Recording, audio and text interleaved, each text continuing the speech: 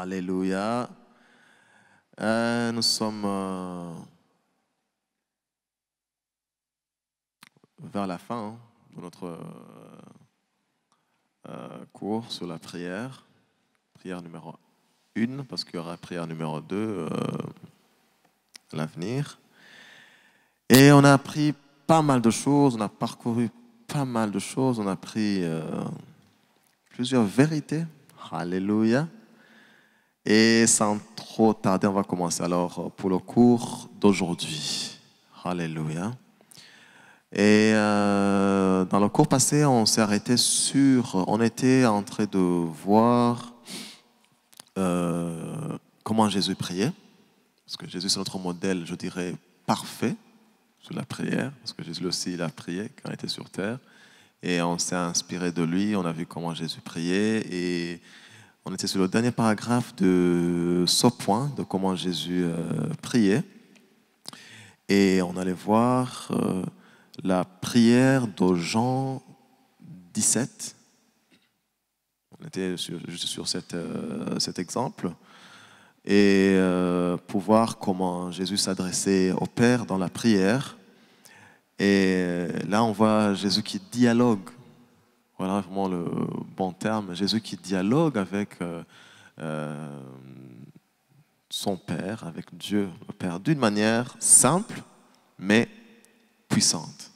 Alléluia. Les choses de Dieu, on peut les faire simplement, mais puissamment. Amen. Il dialoguait de manière simple, mais d'une manière puissante. Parce que je vous rappelle que la différence qu'il y a entre nous et Jésus, on l'a vu, oui, nous sommes en communion avec Jésus, mais la communion que Jésus a ou avait avec son Père quand il était sur terre, c'était une communion mature. Alléluia. Une communion mature. C'est ça qui fait la différence entre toi et Jésus. C'est pourquoi, dans notre croissance, nous devons vraiment tendre, nous devons arriver, nous devons, comment dire, grandir, nous devons développer cette communion de manière à ce que cette communion soit mature. Alléluia. De la maturité de notre communion avec Dieu découle, découle notre prière efficace. Amen. Et donc, dans cette prière de Jean 17, euh, et, et on sait que, on sait que c'est vraiment avec l'exaucement de cette prière que nous avons, nous sommes l'Église aujourd'hui, parce que l'Église a pu naître avec l'exaucement de la prière de Jésus, de Jean 17. Et car le Père exauçait toujours Jésus. Alléluia. Et Jésus, il avait cette certitude que le Père exauce sa prière. Amen. Donc c'est vraiment une maturité de relation dans laquelle nous devons tendre.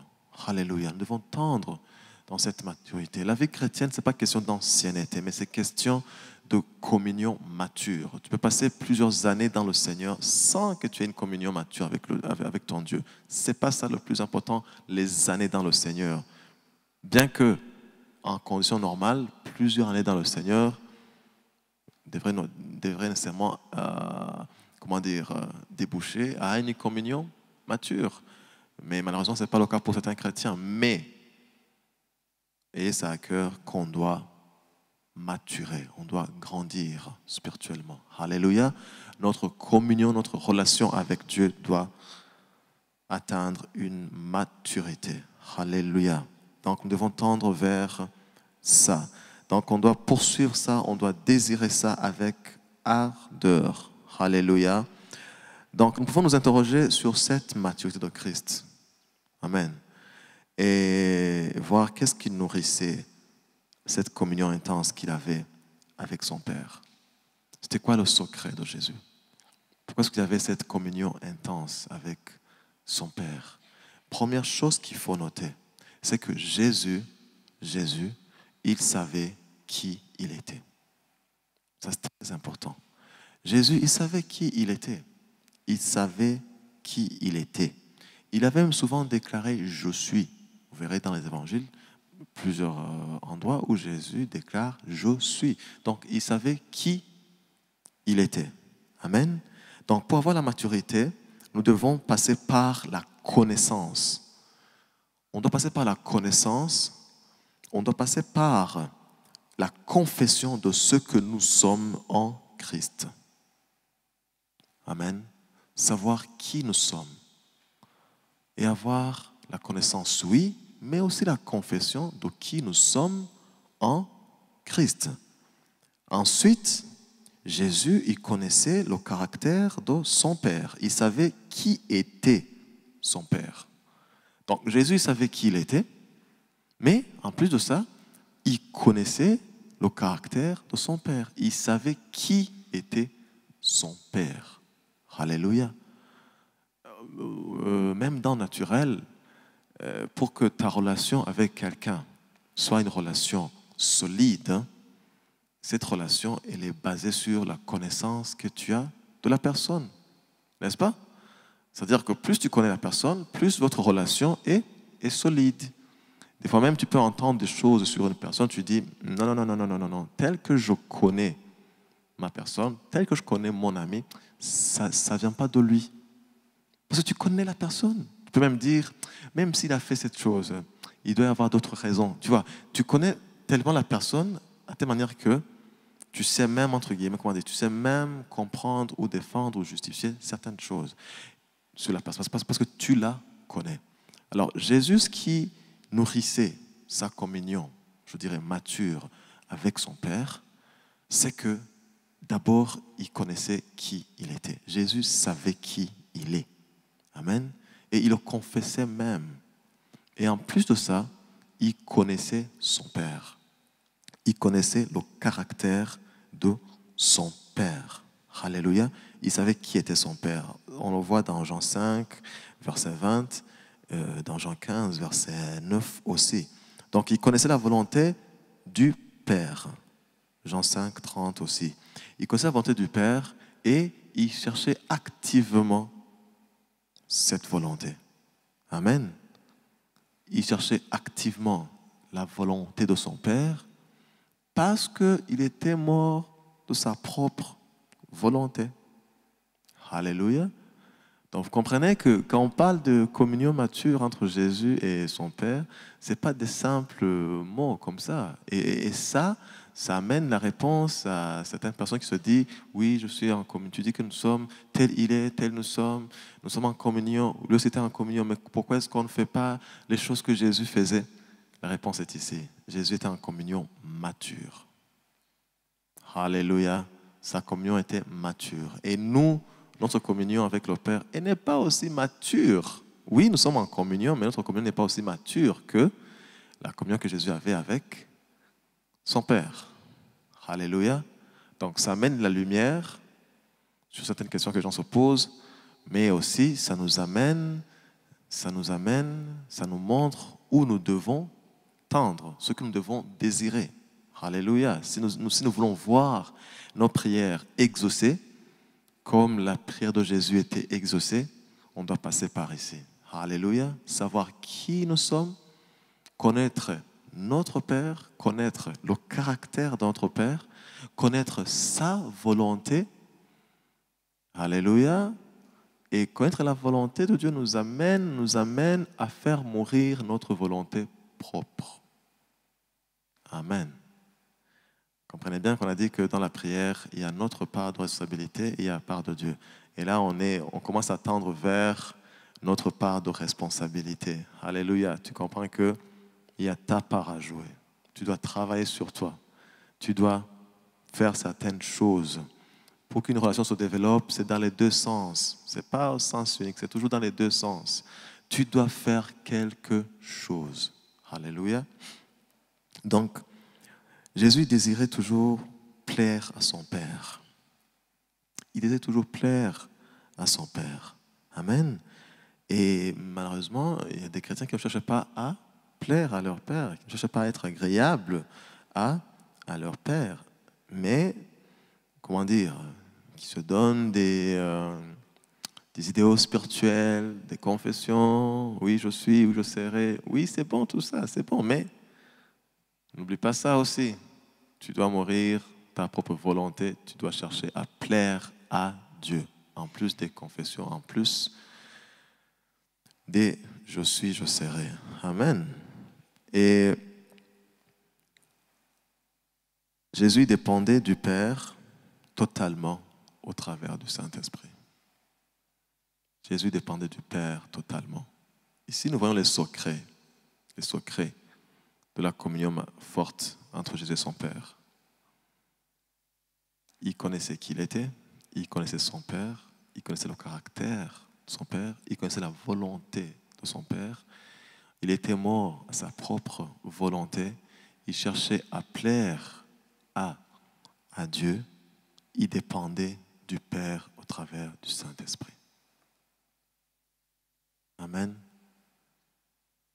Et cette dépendance l'amenait à être très attentif à la direction du Saint-Esprit. Amen. Tu es très attentif à la direction du Saint-Esprit. Hmm? Et c'est ce que je disais. je pense que tous ces éléments évoqués répondent en fait à la question de pas mal de chrétiens qui se demandent, qui se disent euh, pourquoi? Si nous sommes fils, si nous sommes filles de Dieu, pourquoi sommes-nous pas capables d'agir comme Jésus? Là, il faut comprendre que dans le domaine de la prière, la différence entre nous, je le répète exprès, la différence entre nous dans notre vie chrétienne et Christ dans son ministère, la différence entre nous et, Dieu, surtout dans le domaine de la prière, elle réside sur cette communion mature que Jésus avait avec son Père. Amen. Donc, euh, par rapport à,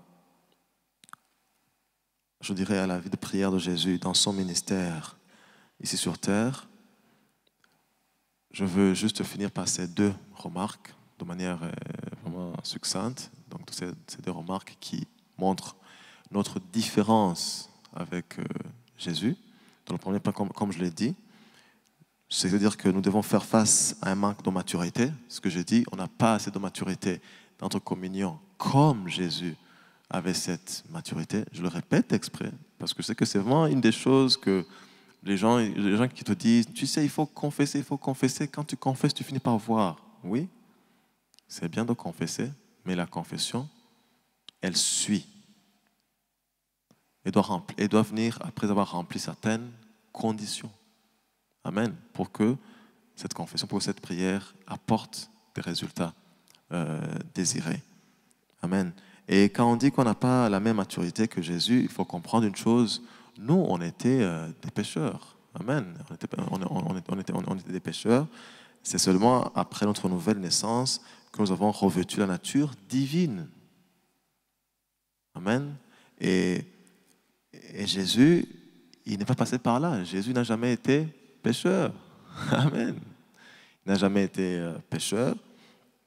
Jésus n'est pas passé par euh, une croissance spirituelle comme nous, nous passons dans une croissance spirituelle pour arriver là où nous devons arriver. Ceci étant, quand on grandit, on commet des erreurs. C'est normal. Amen. Je pense que personne ici parmi nous pourrait dire, moi, j'ai jamais commis d'erreur dans le monde spirituel. Je ne me suis jamais trompé. Hmm? On s'est déjà trompé. Tu, te faisais avoir la foi pour certaines choses, tu avais confessé, tu étais sûr, sûr et certain que tu vas voir euh, la, comment dire, la, réponse de Dieu. Pouf, tu te, vraiment, tu te, comment dire, tu te casses la figure. Oui, on commet des erreurs dans notre croissance spirituelle. En grandissant, on commet des erreurs, ce qui est normal. Mais Jésus n'est pas passé par cette étape de croissance spirituelle. C'est-à-dire que lui, il s'est jamais trompé. Il priait, il était exaucé. Parce que lui, il est dans une communion mature, parfaite avec son Dieu. Sa prière était exaucée parce que sa prière remplissait toutes les conditions pour être exaucée. Alléluia. Et nous, on doit tendre vers là. Amen. Et c'est un parcours. Comme on l'a dit quand on a commencé ce cours, la vie de prière, c'est une vie à différents paliers, à différents niveaux. Amen. On grandit, on avance, on avance, on avance. Alléluia. Et plus on avance, plus on avance et plus on voit les résultats dans nos prières. Amen. Je pense que rien qu'avec la connaissance qu'on a acquise dans ce cours, dans ces quelques heures, je sais que votre vie de prière ne sera plus la même. Si bien sûr vous acceptez de changer les anciennes pratiques. Amen. Parce que des fois, c'est pas aussi évident. Mais il faut s'y mettre. Il faut prier selon la parole de Dieu. Il faut prier selon la parole de Dieu. C'est pourquoi ce cours a fait beaucoup plus de nettoyage. Parce qu'après, il y aura. Alors, on va mettre les, comment dire, les bases, on, a, commencé à les mettre. Et après, on apprendra différents types de prières.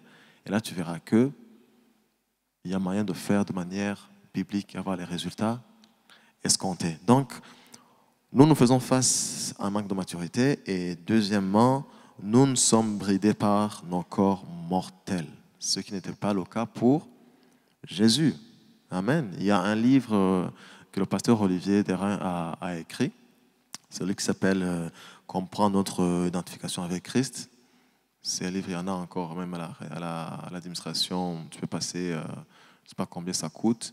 Et dans ce livre intitulé Comprendre notre identification avec Christ, nous, nous parle de toutes ces choses, nous révèle ces, choses. Nous, nous sommes bridés par nos corps euh, mortels, ce qui n'était pas le cas pour Jésus. Donc, nous, nous devons passer du temps avant d'entrer dans le monde spirituel. Amen. Car nous devons vaincre notre chair. Amen. Tandis que Jésus, lui, c'était instantané. Pour Jésus, entrer dans le monde spirituel, c'était instantané. Parce que lui, il n'avait pas à vaincre la chair ou le corps. Mais nous, c'est différent. Nous, nous avons un corps. Amen.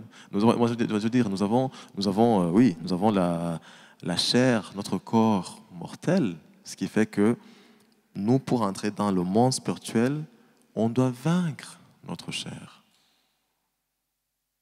Amen. On doit vaincre notre chair. Et ça, des fois, ça nous handicape. Tandis que pour Jésus, ce n'était pas local. Jésus, c'était instantané.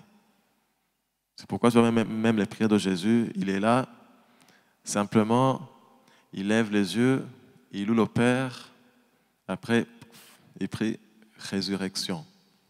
Amen. Tu vois, ça, c'est pas des choses que nous, on va imiter euh, comme ça. Tu te tiens, comme Jésus s'est tenu devant la tombe de Lazare, tu lèves les yeux, tu parles au Père, tu retournes, tu dis, sors.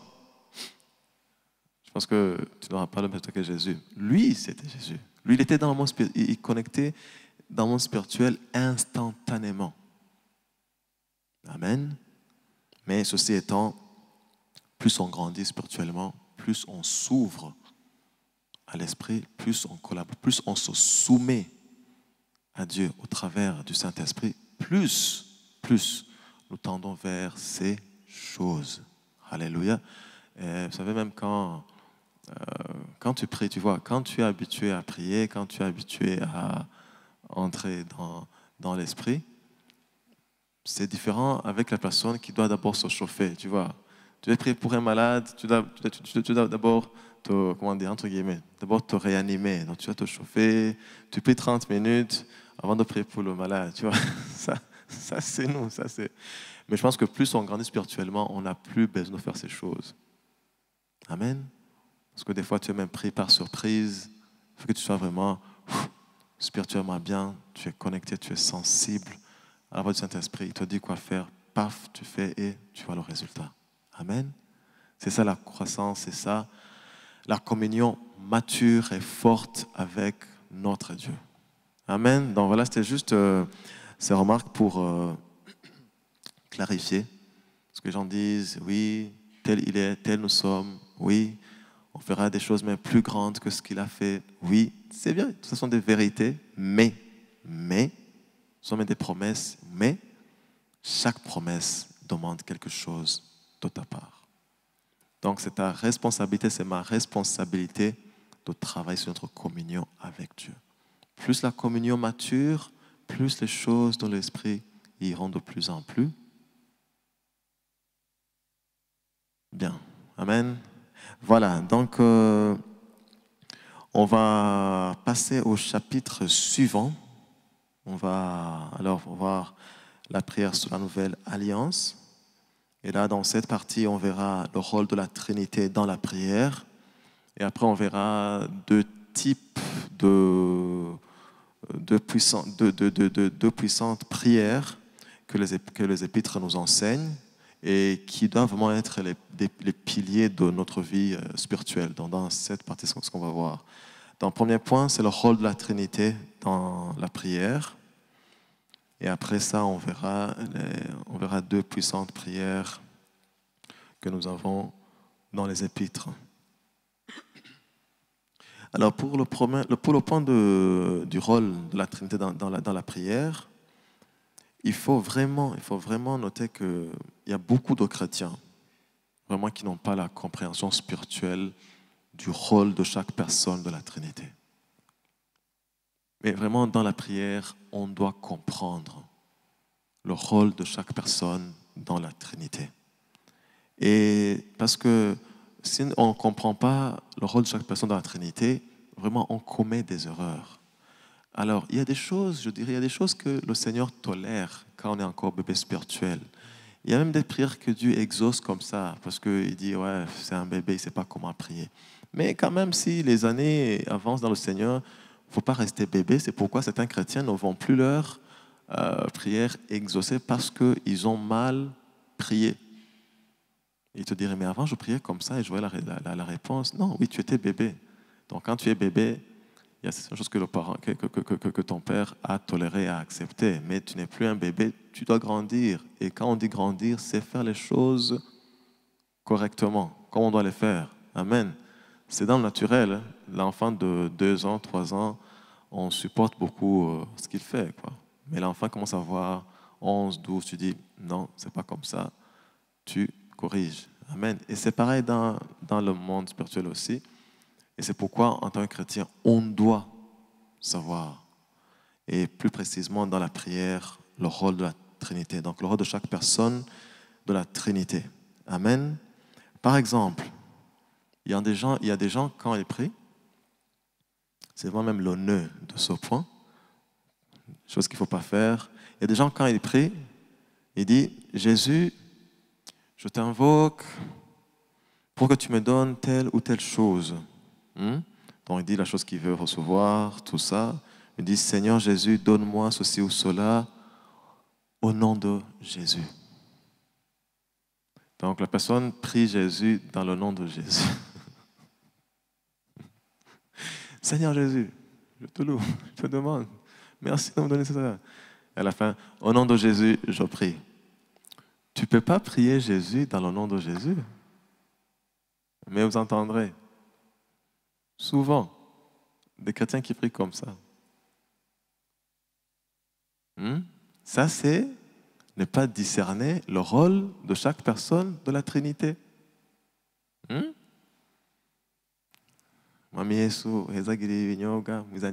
Amen. Vous l'entendez dans les, dans les cérémonies, là, les gens qui prient comme ça, ou même ailleurs.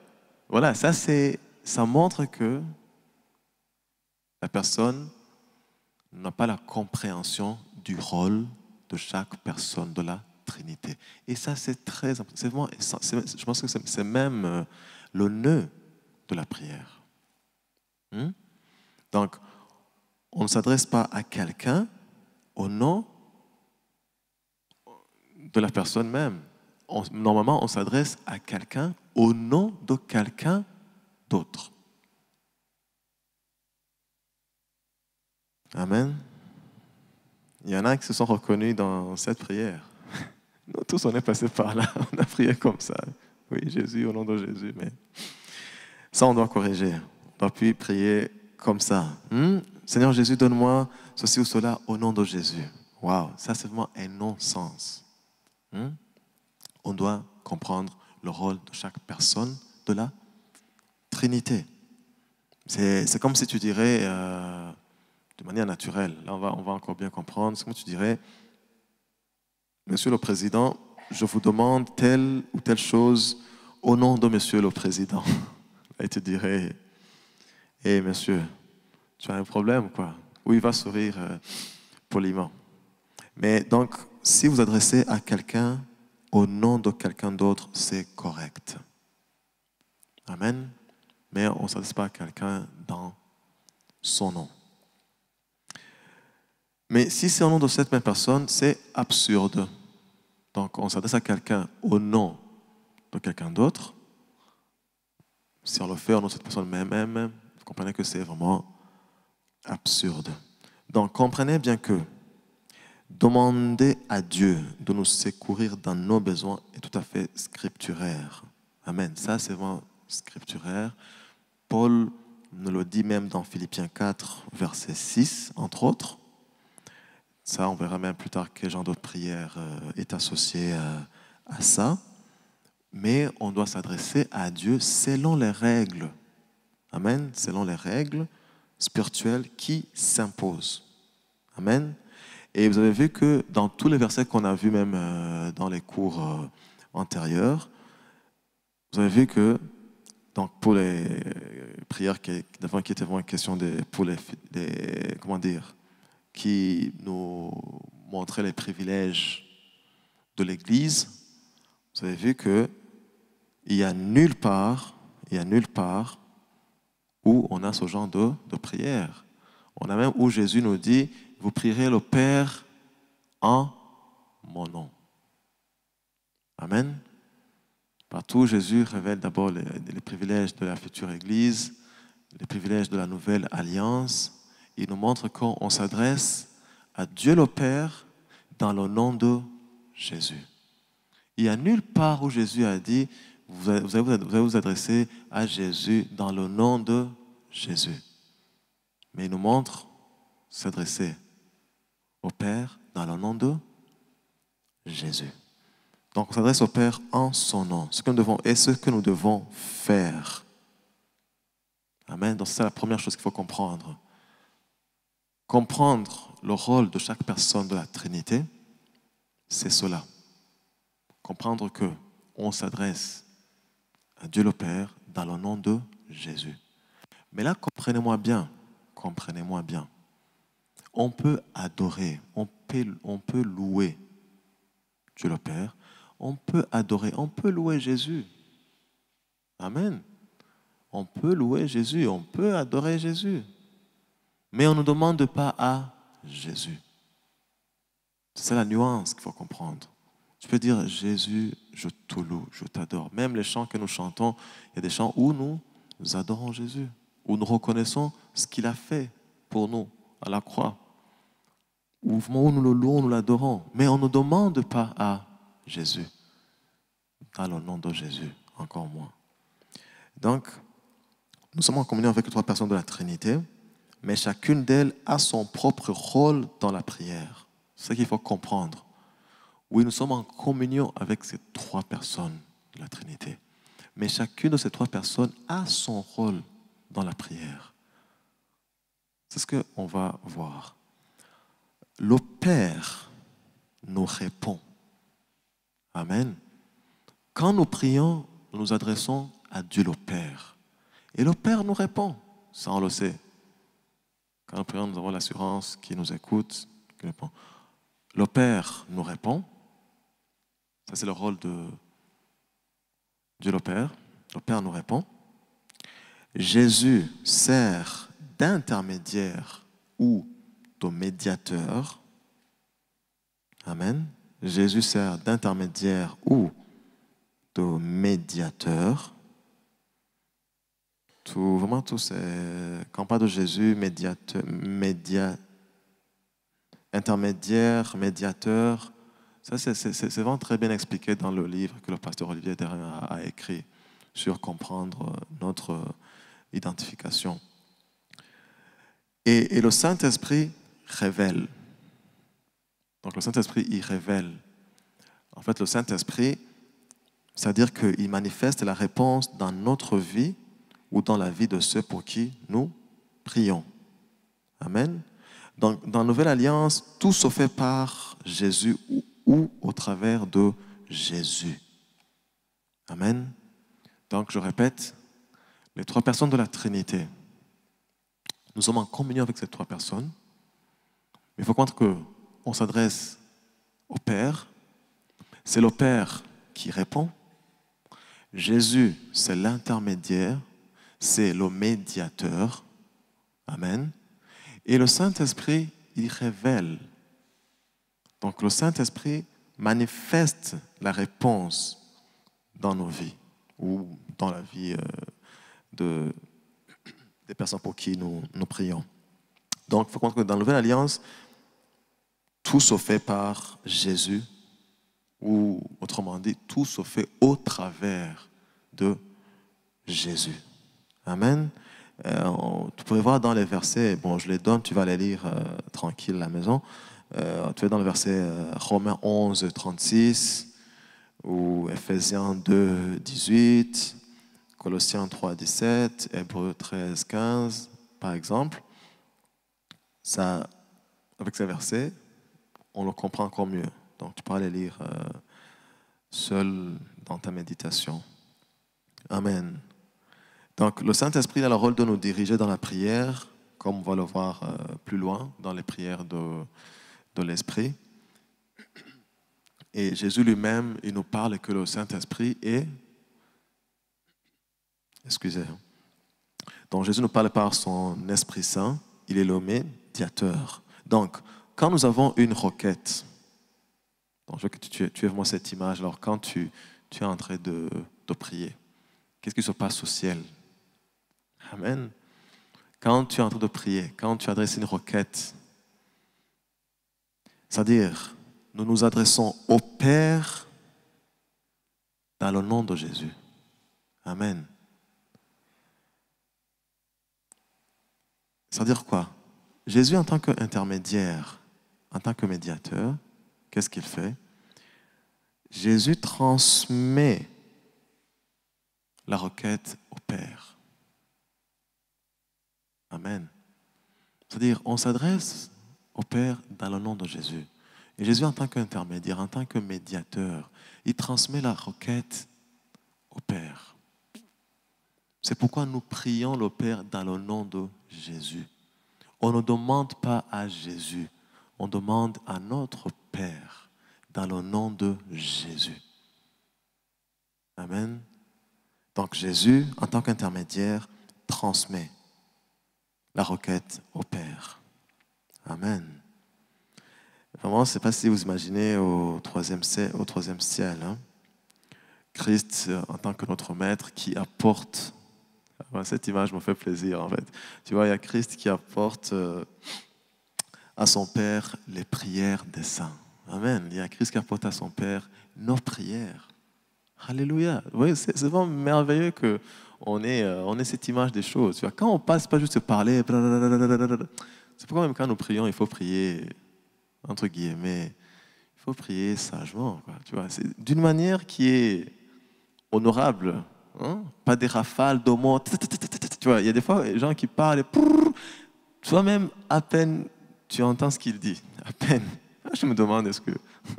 C'est vrai, Dieu, il est tout puissant, il comprend tout, il sait tout, mais cette prière, elle est quand même difficile, même à Tu vois. Alors, mais tu as cette image, tu adresses ta requête à ton Père. Il y a Jésus qui reçoit les prières des saints et qui les transmet Père. En fait, quand j'ai vu ça, j'ai compris pourquoi Jésus nous disait, ce que vous demanderez à mon nom, Dieu le Père le fera. Amen. En d'autres mots, ce que vous demanderez, je le prendrai, moi, votre médiateur, je le présenterai à mon Père, et lui, il m'a toujours exaucé. Et comme il m'a toujours exaucé, il va exaucer ta prière. Amen. Finalement, ce qu'on dit à la fin de la prière, au nom de Jésus, tu vois, c'est pas, c'est pas, pas un truc qu'on ajoute à la fin de la prière pour dire qu'on a prié comme euh, un flemme ou soit. Non, mais ça, ça, a toute sa signification dans la prière. Ça a toute sa signification. Au nom de Jésus, c'est pas pour clore la prière. Il n'a pas dit au nom de Jésus, donc il n'a pas encore fini prier. On attend qu'il finisse. En fait, on est déjà euh, formaté dans ce sens. Mais ici, l'idée, c'est quoi? Tu as l'accès au Père dans le nom de Jésus. Tu parles au Père et Christ, en tant que médiateur, il prend tes requêtes. Ces requêtes, bien sûr, maintenant que tu, es instruit, ces requêtes qui rencontrent la volonté de Dieu. Et Jésus les prend, il les présente au Père, et le Père va exaucer, parce qu'il a toujours exaucé à Christ. Alléluia. Donc, le au nom de Jésus a, plus, a une signification profonde. Ce n'est pas un petit mot qu'on fait pour clôturer la prière. Voilà. Donc, au troisième ciel, Christ, notre Maître, apporte à son Père les prières des saints, dont la réponse sera communiquée ensuite par le Saint-Esprit. Amen. Et le Saint-Esprit nous communique la réponse. Et le Saint-Esprit nous communique la réponse. Ou le Saint-Esprit manifeste la réponse qu'on a reçue de notre Père. Amen. Donc la réponse nous sera communiquée par le Saint-Esprit. C'est vraiment euh, fabuleux, comme, scène. Hein. Donc, il faut qu'on se rappelle que l'utilisation du, nom de Jésus dans la prière n'est pas une formule magique. Ce n'est pas une formule, mais l'utilisation du nom de Jésus dans la prière, c'est une, une délégation d'autorité spirituelle. Amen. C'est une délégation d'autorité spirituelle. Christ, en effet, nous a donné une procuration c'est-à-dire, il nous a donné le droit. Il nous a donné le droit. Christ nous a donné le droit. Il nous a donné le droit légal d'utiliser son nom dans la prière. Et voilà ce que nous devons apprendre à faire. Donc, le nom de Jésus dans la prière, ce n'est pas une formule magique pour les chrétiens, pour les prières des chrétiens, mais le nom de Jésus dans la prière, c'est une délégation d'autorité spirituelle. Christ, en effet, nous a donné une procuration, c'est-à-dire il nous a donné le droit légal d'utiliser son nom dans la prière. Ça, vraiment, nous devons apprendre à le faire. Alléluia. Et utiliser son nom dans la prière selon les lois spirituelles du Nouveau Donc, Jésus n'est pas celui à qui nous devons nous adresser quand nous avons quelque chose à demander à Dieu. Il n'est pas celui qui répond à la prière. Hmm? Ça, il faut lire euh, Jean 14, euh, assez dans les, chapitres de Jean 14 jusqu'au chapitre 16. Hein. Et euh, dans la première épître de Jean, chapitre 5, verset 14. Ça, quand tu lis toutes ces références, tu vas vraiment comprendre que on ne demande pas quelque chose à Jésus et ce n'est pas Jésus qui répond notre prière. On s'adresse à Dieu le Père au nom de Jésus. Jésus notre intermédiaire, notre médiateur, et le Saint-Esprit nous communique, manifeste la réponse de notre prière. Ça, on le verra. Euh, dans la prière euh, euh, de la foi où Dieu nous garantit qu'il entend, il écoute notre prière. Amen. Dans cela, je disais que quelqu'un pourrait dire, mais je me rappelle que, tu pourrais dire, oui, c'est vrai, mais je me rappelle que j'ai prié Jésus dans le nom de Jésus, et la chose que je demandais, j'ai vu la réponse. Oui, c'est vrai. Tu étais encore bébé spirituel, donc euh, ton papa, il a été indulgent, il a exaucé. Mais si tu le fais, je ne sais pas si aujourd'hui tu as encore des réponses avec cette prière. Hein? hein? Je ne sais pas si tu as prié pour un malade, Jésus dans le nom de Jésus, et tu as vu le malade guéri. Je ne sais pas. Ce n'est pas je ne sais pas.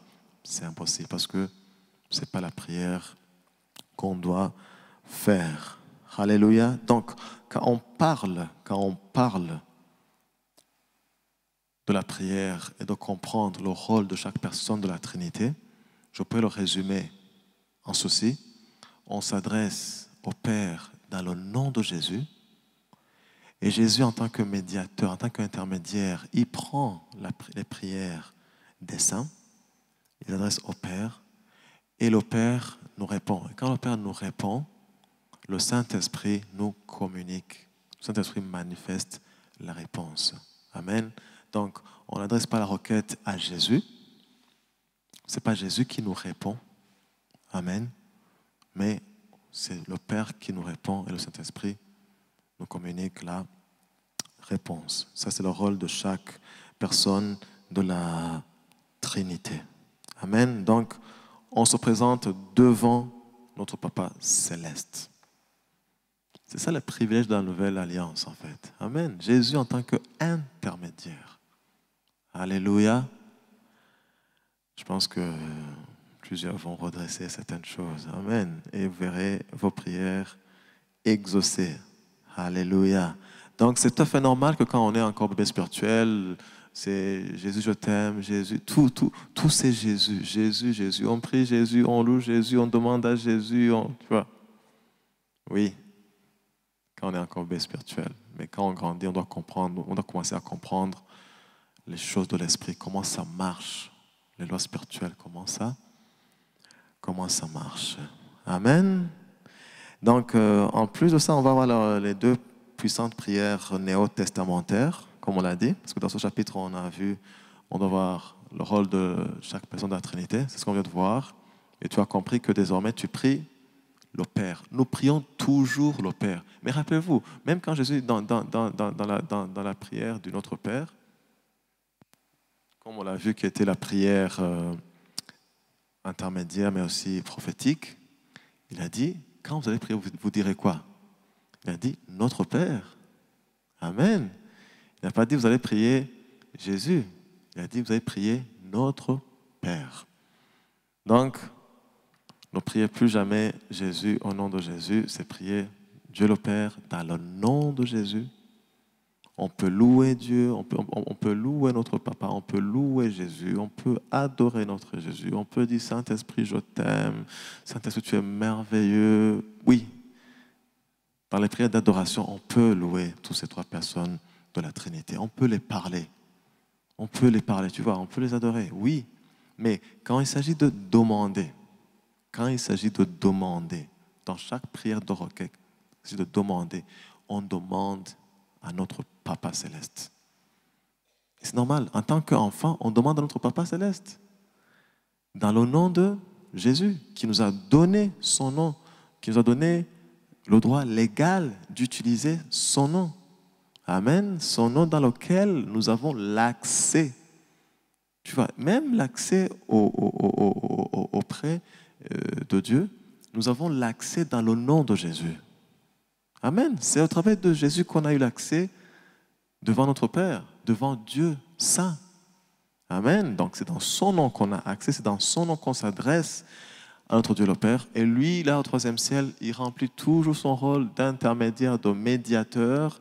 Il prend tes requêtes, il les présente à Dieu le Père. Je dirais même, il les défend. il parle pour nous. Et le Père comme il a toujours exaucé, il va exaucer la prière et le Saint-Esprit va te communiquer la réponse. Alléluia. Quand on dit que le Saint-Esprit nous communique la réponse, c'est pourquoi quand tu sors de la prière, si tu as vraiment prié comme il faut, c'est là où on affirme que tu ne peux pas sortir de la prière tel que tu es entré dans la prière.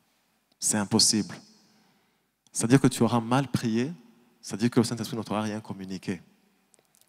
Alors que on sait que quand on s'adresse, nous avons l'assurance qu'il nous écoute. Et quand il nous écoute, il envoie la réponse. Amen. Là, tu vas dire, mais la chose matérielle, je ne l'ai pas encore vue. Mais tu l'as déjà. Alléluia. Et ton attitude, déjà à la sortie de la, prière, il y a le Saint-Esprit qui te dit, tu l'as reçu, mon fils, tu l'as reçu. Mais c'est Dieu qui te parle au travers du Saint-Esprit. Tu es découragé, tu sens la joie, tu sens la force, dans tu sens la force en toi, tu sens la restauration en toi. C'est quoi? Mais le Père t'a exaucé. Le Saint-Esprit te communique la réponse. Amen. Tu étais confus, tu sors de la prière, waouh, éclairé. Mais Dieu a exaucé la prière, il a répondu. Le Saint-Esprit te communique. Amen. Donc, quand nous prions, on ne peut pas quitter la prière sans que quelque chose se soit passé en nous. Amen.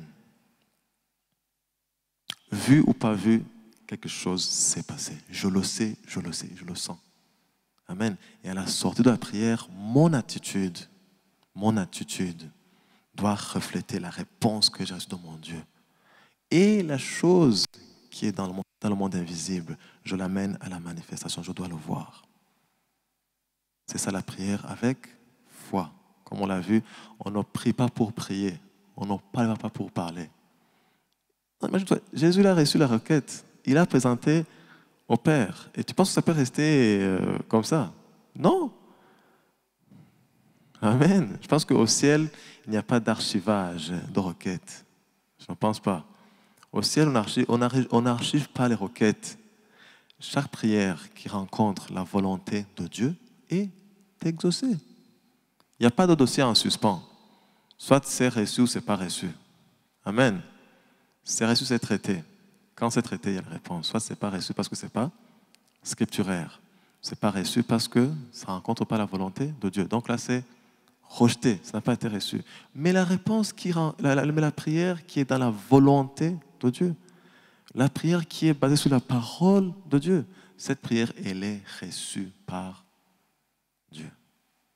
Et quand Dieu la reçoit, l'exauce. Alors, c'est à toi et à moi de travailler sur notre attitude. Amen. Quand on ne reçoit pas la réponse et qu'on l'annule ou bien qu'on la rend caduque à la sortie de la prière parce que notre attitude n'a pas été celle que Dieu attendait de nous. Amen. Alléluia. C'est bon de comprendre les choses de Dieu. Ça nous libère. Amen. C'est ce que Jésus a dit. Mon peuple meurt par manque de connaissance. L'ignorance, ça tue. Et, dans chaque euh, domaine de ta vie où il y a l'ignorance, il y a les ténèbres. Et là où il y a les ténèbres, le diable opère dans les ténèbres. C'est pourquoi le diable opère dans l'ignorance. Quand tu es ignorant dans tel domaine, tu es dans les ténèbres. Et quand tu es dans les ténèbres, le diable est là, il en profite. Mais là où il y a la connaissance, là où il y a la révélation de la parole, c'est la lumière. Et le diable fuit la lumière. Et la lumière, c'est la présence de Dieu. Et là où Dieu est présent, il agit. Quand il agit, on le voit. Alléluia. Voilà, on va voir deux puissantes prières néo-testamentaires. Donc, deux puissantes prières qu'on a dans les épîtres. La première prière se trouve dans Ephésiens 1, versets 15 à 18. Et la deuxième prière qu'on va voir se trouve dans Ephésiens, chapitre 3, versets 14 à 16. Euh, on va commencer par euh, celle de Ephésiens, chapitre 1, versets 15 à 18. Dans cette prière, ça, c'est Paul. On va lire dans cette prière, il a dit, c'est pourquoi moi aussi, c'est pourquoi? Je, ne cesse de rendre, je ne cesse de rendre grâce pour vous. Je fais mention de vous dans mes prières afin que le Dieu de, le Dieu de notre Seigneur Jésus-Christ, le Père de gloire, vous donne un esprit de sagesse et révélation dans sa connaissance, qu'il illumine les yeux de votre cœur pour que vous sachiez quelle est l'espérance qui s'attache à son appel, quelle est la glorieuse richesse de son héritage au milieu des saints, et quelle est la grandeur de surabondante et que la, quelle est, la grandeur de surabondante de, la de sa puissance envers nous qui croyons selon l'action souveraine de sa force. Bon, ça c'est les, euh, comment dire, cette prière qu'on va, qu'on va, qu'on va voir. Ce sont des prières qui, vont, qui nous inspirent. Ce sont des prières qu'on, en tant que chrétien, qu'on doit faire pour nos propres vies. Amen. En plus des requêtes qu'on adresse à Dieu pour euh, les besoins, les choses matérielles, mais il y a aussi ce genre de prière qu'on doit, qu'on doit faire. Amen. Et, et là, on s'inspire de, de Paul, Paul qui est un homme qui a été euh, puissamment utilisé par Dieu dans le Nouveau Testament, donc il nous laisse euh, cet exemple. Et je pense que il faut comprendre que Dieu, Dieu, comme euh, aime souvent le dire notre pasteur Olivier, Dieu, c'est le Dieu du surnaturel, non pas du naturel. Amen. Ça, il faut vraiment qu'on le comprenne. Et il y a ces prières en fait qui touchent ces dimensions du spirituel qu'on doit aussi pratiquer le plus souvent même dans notre vie chrétienne. Et on va voir dans cette prière qu'est-ce que Paul voulait en fait. Et ici toujours, vous verrez que Paul adresse sa requête au Père. Alléluia. Comme Jésus l'avait même enseigné aux disciples. Donc, c'est une remarque qu'il faut donner. Alors, on va voir euh, cette prière surtout sur les versets 17 et, 18. Donc, sur les versets 17 et 18, on voit que ici, Paul nous montre qu'il demande au Père un esprit de sagesse et de révélation dans la connaissance de Dieu. Paul demande au Père un esprit de sagesse et de révélation dans la connaissance de Dieu. Amen. Ici, on peut avoir une connaissance intellectuelle de la parole de Dieu. N'est-ce pas? Il y a plein de gens qui ont fait des choses, à théologie, doctorat en théologie, des choses euh, comme ça.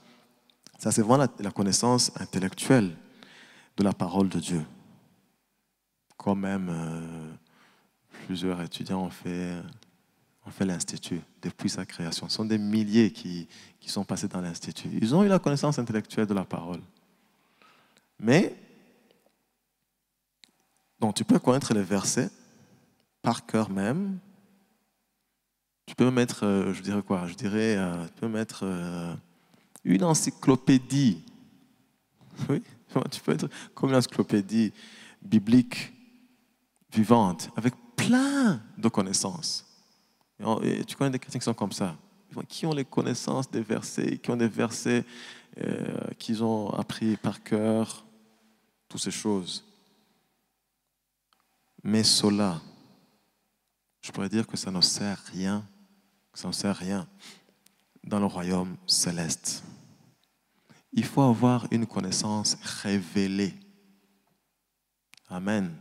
La connaissance qu'on a à avoir de la parole de Dieu, elle n'est pas seulement une connaissance intellectuelle, mais il faut une connaissance révélée de la part de Dieu. Amen. C'est-à-dire que quand on dit connaissance révélée de la, parole de Dieu, de la part de Dieu, c'est-à-dire que certes, la parole de Dieu, elle doit passer par notre tête, oui, mais elle doit descendre dans notre esprit. Amen. Pas seulement connaissance, mais il faut une connaissance révélée de la part de Dieu. C'est-à-dire, la parole, on la reçoit, oui, mais elle ne s'arrête pas dans l'intellect. Cette parole doit descendre dans notre esprit. Amen. Donc, il faut une connaissance révélée de la part de Dieu. C'est-à-dire que la parole de Dieu doit passer de votre tête vers votre esprit. Amen. C'est ça qu'on doit demander à Dieu. C'est là ce que Paul dit dans cette prière. Un esprit de sagesse et de révélation dans la connaissance de Dieu. Que la parole soit révélée. Amen. Qu'on ait la révélation de la part de Dieu. Tu peux avoir les connaissances, tu peux avoir vraiment une tête bien remplie de connaissances bibliques, mais il faut que ces connaissances soient révélées de la part de Dieu. Alléluia. Vous, savez, il y a dans Luc, je crois, Luc 24, après la résurrection de Jésus. Jésus, il est ressuscité, il rencontre ses disciples. Ses disciples avaient la connaissance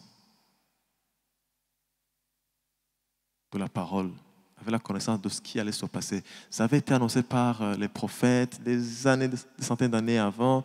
C'était dit dans l'ordre de Moïse, tu vois, que Jésus, que le Sauveur viendra, qu'il mourra, qu'il restera après le troisième. Tout ça, c'était dit. Et il le savait. Mais quand Jésus, quand Jésus est mort, c'est découragé. Ah, c'est fini pour nous. Après, il est ressuscité. Ils ont même, ils, n'y croyaient même pas que c'est Jésus. Et là, dans Luc 24, dans le verset 40 combien, il est dit que Jésus leur ouvrit l'esprit et ils comprirent les Écritures. Amen. Toutes ces choses qu'ils connaissaient, quand leur esprit a été ouvert, ils ont compris. Et dès cet instant même, ce sont les mêmes qui doutaient, les mêmes qui étaient dans la crainte, dans la peur, quand ils ont reçu la révélation de tout ce qui avait été annoncé des années des années, ce sont les mêmes. Rappelez-vous, Pierre qui sort après la Pentecôte, commence à parler. Quand vous lisez l'acte 2, après Pentecôte, qu'est-ce que Pierre a dit? Il a juste relaté l'histoire de Jésus. Mais ce n'était pas une histoire comme on dit l'histoire, mais c'était des révélations qu'il avait reçues cette fois-ci. Et cette parole révélée que Pierre annonçait à l'assemblée a fait quoi? A fait que les cœurs des gens qui écoutaient ont été percés par la parole. Ils ont dit, que faire? Et des milliers se sont donnés à Christ. Il n'a pas donné des connaissances, non mais révélée. La connaissance révélée. Donc, la parole, oui, il faut la savoir, il faut l'accueillir dans la tête, dans l'intellect, oui, mais elle ne doit pas rester ici, elle doit descendre dans notre esprit, elle doit être révélée par, par Dieu. Et on doit prier pour euh, ça. Alléluia. Donc nous devons demander au Père que sa parole devienne révélation dans notre cœur quand nous la méditons. Amen. La foi vient de ce que l'on entend. Ce que l'on entend de la parole de Dieu. Mais ce n'est pas seulement ce qu'on a entendu, mais c'est cette parole qui est descendue dans notre esprit par la méditation. C'est cette parole qui produit la foi. C'est ce que, ce, que, ce que Dieu disait à Josué dans 1, verset 7 ou 8, que cette parole ne s'éloigne point de ta bouche. Médite-la jour et nuit. Médite. Amen. Pas seulement connais-la, lis-la, chante-la. Non, médite. Amen. Alléluia. Et cette parole produit après. Donc, la parole se révèle dans notre esprit. Amen. Donc, il est important que la parole se révèle dans notre esprit. Mais si nous ne savons pas, donc après, donc ça, ça c'est la connaissance révélée, mais après que cette connaissance nous soit révélée, après que cette parole nous soit révélée, il y a un autre point qui est important, c'est la sagesse. Amen. C'est la sagesse. On doit avoir la sagesse. En fait, la, sagesse, c'est-à-dire quoi? En fait, la sagesse, c'est-à-dire, on doit savoir appliquer cette parole révélée. On doit savoir appliquer cette parole dans la situation où nous nous trouvons. Amen. Donc, cette parole, qu'on a, cette parole qui est révélée, on doit savoir comment l'appliquer dans les situations. Amen. Donc, nous devons demander vraiment au Père que sa parole devienne révélation dans notre cœur quand la méditons. Oui. Qu'elle devienne révélation quand nous la méditons. Mais Paul demande encore quelque chose. Paul demande la sagesse.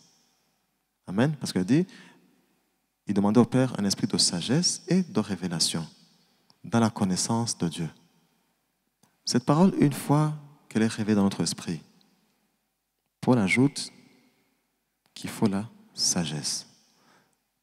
Parce que si nous ne savons pas appliquer correctement cette parole dans notre vie en temps opportun, on peut faire des dégâts avec cette parole. Oui. On peut faire des dégâts avec cette parole. C'est pourquoi il nous faut la sagesse. Il faut vraiment demander à Dieu la sagesse. Parce que la connaissance, il faut comprendre, la connaissance, elle peut être destructive. Hein. Tout comme elle peut être constructive, selon la façon dont nous l'utilisons. Donc les chrétiens, on doit demander la sagesse à Dieu.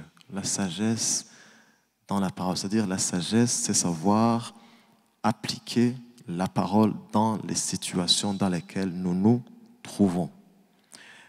Ensuite, Paul demande que les Éphésiens aient les yeux de leur cœur illuminés. Donc on a vu la parole révélée par Dieu. Il faut la connaissance de la parole.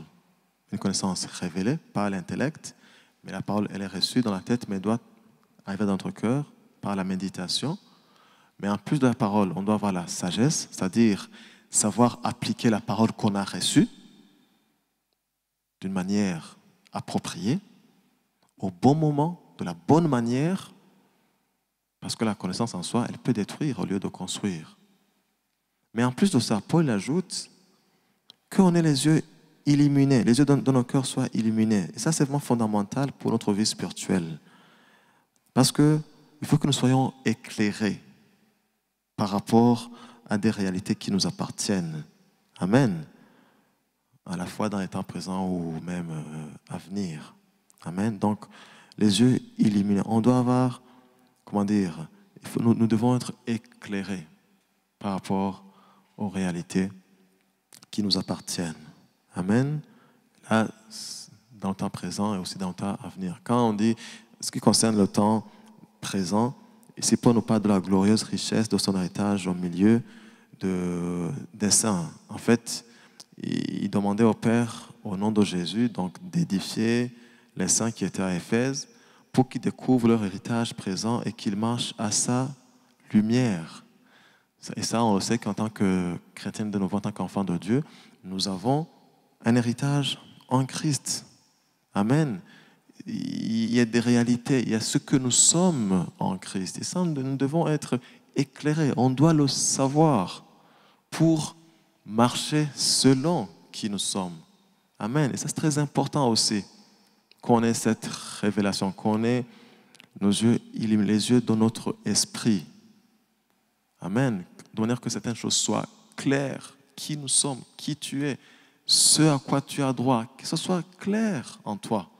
Amen. Que tu le vois et que tu sais, je sais qui je suis, je sais ce que j'ai dans le Seigneur.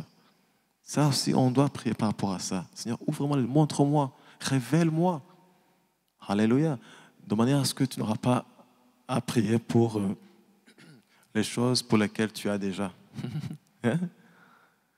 Voilà, donc, euh, et là, c'est parler de tous les privilèges, de tous les privilèges qu'on a dans le royaume comme euh, enfant de Dieu. Et là, entre autres, on peut citer notre relation, notre relation avec Dieu, le baptême de l'Esprit, la guérison divine, la provision, la prospérité, la protection divine, toutes ces choses, la longue vie sur terre, la paix, la joie, la force tu vois, sont, toutes ces choses, nous les avons. Mais on doit avoir nos yeux spirituels éclairés pour les voir. Alléluia. Amen. Donc, Paul priait pour euh, ses frères d'Éphèse qu'ils puissent connaître l'espérance qui s'attache à l'appel que Dieu nous en pour l'éternité. Amen. Et cette espérance, c'est le ciel. Donc la résurrection entre les morts, la vie éternelle avec lui. Amen. Donc là, c'est par rapport à, parce qu'on a dit qu'on soit illuminé pour les réalités qui nous appartiennent dans le présent, mais aussi pour le futur. Et là, quand on parle du futur, quand on parle des choses du ciel, quand on parle de résurrection des morts, quand on parle de l'éternité auprès de Dieu, ça aussi sont des réalités, mais qui sont dans le futur. Et on doit être éclairé par rapport à ces choses. Tu sais, en tant que chrétien, tu ne peux pas être chrétien, entre guillemets, comblé, équilibré, sans que tu aies la pensée de l'éternité. Amen. C'est très important. La pensée de l'éternité. La compréhension du, tu vois, le ciel. Parce que c'est, notre destination finale. Dans toutes ces choses, on doit avoir une révélation, on doit avoir des connaissances qui sont révélées au travers de la parole de Dieu. Et on va finir cette partie par la deuxième prière, qui est la prière dans Ephésiens 3, euh, versets 14 à, 16. Ephésiens 3, 14 à 16, où Paul écrit C'est pourquoi je fléchis les genoux devant le Père, de qui toute famille tire son nom, afin qu'il vous donne, selon la richesse de sa gloire, d'être puissamment fortifié par son esprit dans l'homme intérieur. Amen. Et ici, il y a quelques explications qui peuvent nous aider à interpréter ce passage hein, de mieux pour comprendre cette, cette, prière. En fait, ici, Paul s'adresse au, Père. Bien sûr, il avait compris le rôle de la Trinité. Et vraiment, il faut que vraiment il faut remercier Dieu. Il faut remercier Dieu euh, pour sa parole. Parce que la parole de Dieu nous éclaire et nous amène vraiment par la révélation du Saint-Esprit à demeurer dans la, dans la vérité. Amen.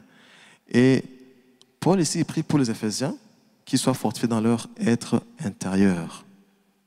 C'est-à-dire qu'ils soient fortifiés dans leur esprit né de nouveau. Amen.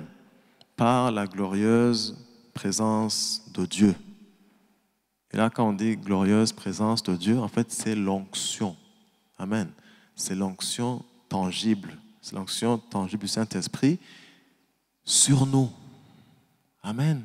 Ici, Paul prie pour les Éphésiens qu'ils soient puissamment fortifiés dans leur homme intérieur. Et là, c'est qu'ils soient fortifiés dans leur esprit, dans leur esprit né de nouveau, et qu'ils soient fortifiés par la glorieuse présence de Dieu, qui est l'onction tangible, qui est l'onction du Saint-Esprit sur nous. Amen. Et ça, il a prié pour que, pour que les Éphésiens expérimentent cela régulièrement. Amen. Ça, c'est une prière qu'on doit faire nous aussi aujourd'hui. Que tu, que tu puisses prier vraiment régulièrement, régulièrement que tu sois, que tu sois puissamment fortifié dans ton être intérieur. Amen. Quand tu fais ce genre de prière, tu es exaucé, parce que c'est la volonté de Dieu que tu sois fortifié. Amen. Dieu veut te fortifier, Dieu, Dieu veut te rendre fort, puissant tous les jours de ta vie. Alléluia. Donc, les sujets de prière, vous comprenez qu'il y en a. Amen. Donc, ça, on doit demander ces choses à Dieu régulièrement. Amen. Et c'est la volonté de Dieu que nous soyons visités par son Esprit Saint. N'attends pas les mercredis, n'attends pas les dimanches. Toi-même seul, tu pries dans ta chambre. Tu dis, Seigneur, je reçois de toi la force dont j'ai besoin. Je reçois l'encouragement. Je reçois ah, la visitation. Et tu t'ouvres la présence de Dieu. Et là, l'Esprit de Dieu, le Saint-Esprit, tombe sur toi, te fortifie. Tu es là tu es rempli de joie, tu commences, euh, alléluia. Parce que le Saint-Esprit est partout, amen.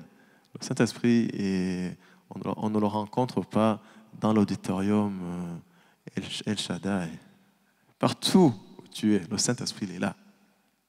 Amen. C'est juste que tu sois sensible, que tu acceptes. Tu dis, Saint-Esprit, remplis-moi. Je veux être fortifié dans mon être intérieur. Père, remplis-moi, Père. Fortifie-moi. Renouvelle mes forces. Je me sens fatigué. J'ai besoin de ta présence. Relève-moi. Alléluia. Parce qu'on on connaît des moments où on est diminué. Amen. Amen. Et là, tu peux dire, euh, cher Saint-Esprit, viens dans ma vie, remplis-moi, je t'accueille maintenant même. Amen. Tu le reçois. Et si tu le reçois, il se manifeste. Il te remplit. Amen. Il te visite. Alléluia.